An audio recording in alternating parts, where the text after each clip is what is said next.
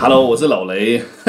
这两天我收到好多好多奇怪的评论，你知道吗？就是尤其 YouTube 那边，呃，Twitter、Facebook 还好一点，但是 YouTube 真的是很多，特别多，然后很多奇葩，知道吗？然后我看到最奇怪的、最让我无奈的是那些刚出来的，然后他们就会说中国互联网是自由开放的，就是好像他们真的觉得这个世界上有两个互联网，一个是中国的，一个是剩下世界的，然后这两个都差不多。没有什么自由不自由的问题，而是，嗯，都有各的好，都有各的不好，所以说都差不多。我就在想，放屁啊你！就是，这就是一种无耻，你知道吗？就是，嗯，这么说吧，你有资格有自己的立场，无论这个立场是什么，你有这个资格，我我尊重，我支持，知道吗？就是你可以说，嗯，你作为一个自干五刚出来，你觉得。互这个中国互联网是好的，你这些他现在这个状态是 OK 的，你反正不想上那些国外的那些什么 Facebook、YouTube、Twitter、Google、呃 New York Times、Bloomberg 或者是那些那些网页，你你不需要，然后你也不介意你被封号，如果说说的什么不对的话，你不介意被查水表，或者是被送快递，或者是被喝茶，呃被消失，这些你不介意，你不介意你发了一个东西就就默默默的被删。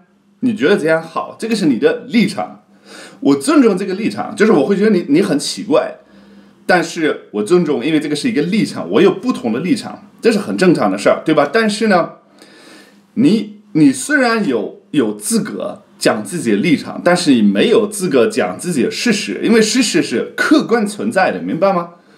就是就好比你可以说，这个大跃进的时候死了好多好多人。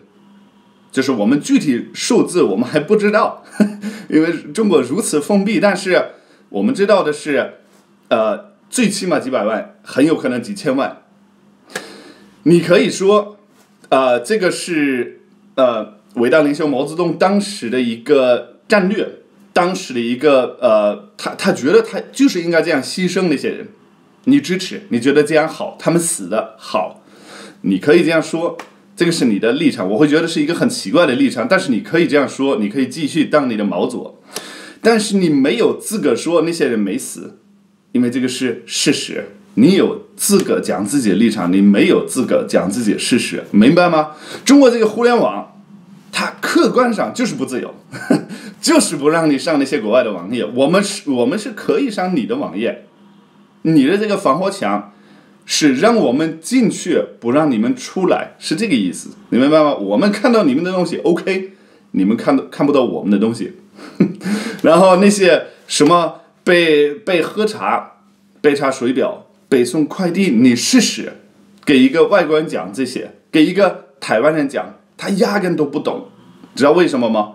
因为我们的互联网是自由开放的，我们有那种监督的那种、那种、那种体制、那种制度，我们有。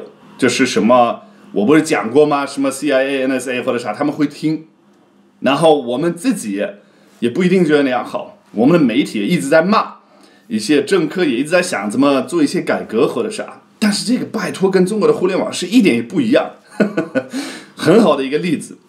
呃，美国政府不是特别想抓那个呃 Edward Snowden 吗？他不是在俄罗斯吗？人家开了一个 Twitter。自己那个 Twitter，呃，好像不知道有有有一百一百万个人就就就跟着他的 Twitter 看吧。美国政府封了他的 Twitter 号吗？你去看看，你就明白了。你在你的笼子里有多可怜。